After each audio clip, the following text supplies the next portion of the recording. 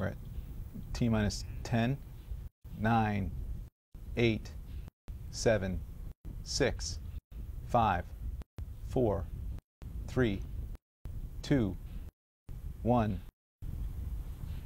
And ignition. And we have liftoff of an ILS Proton rocket from the Baikonur Cosmodrome in Kazakhstan with the EchoStar 16 satellite on board.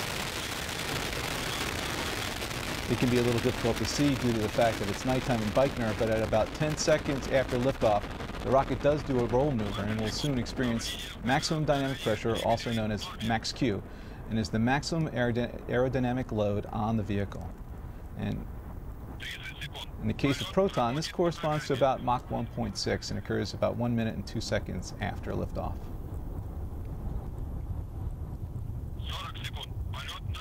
Everything seems to be proceeding nominally as the vehicle heads across the Cosmodrome vertically in a northeasterly direction with a flight launch azimuth of approximately 61.3 degrees.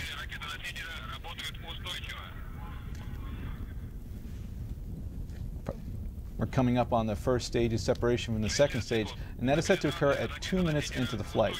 Now, watch for the halo effect as the second stage engines ignite prior to the separation from the first stage.